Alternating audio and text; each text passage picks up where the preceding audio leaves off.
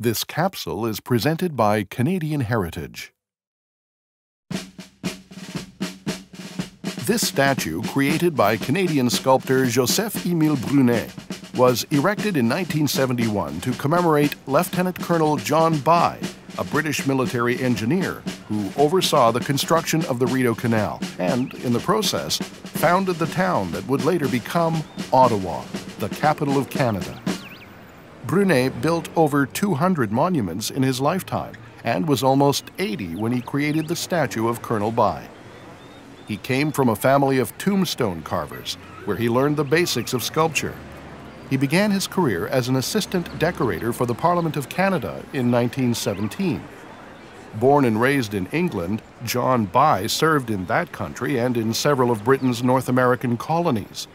These experiences made him the ideal candidate to build the canal that was needed to protect British ships from American attack as they traveled between the vital ports of Montreal and Kingston.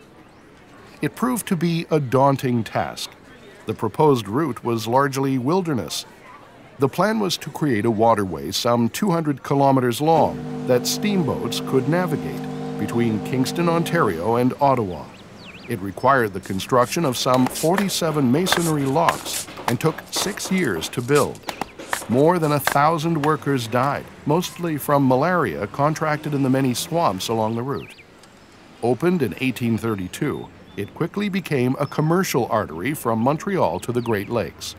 Today, recreational crafts travel through the oldest continuously operated canal in North America.